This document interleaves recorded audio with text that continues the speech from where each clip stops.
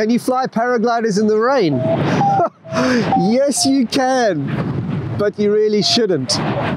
The problem is that this wing works perfectly in dry air, but when there's water falling on the wing, it beads on the surface and it makes the aerofoil stop working properly. The aerofoil is the only thing that's keeping me up, so I really want to make sure that it's working. And a wet wing, if it collapses due to turbulence, can stick together and not reinflate properly.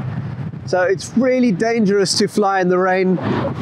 You could endure a short shower and fly down to landing or away from the cloud, but you wouldn't want to do it for more than a minute.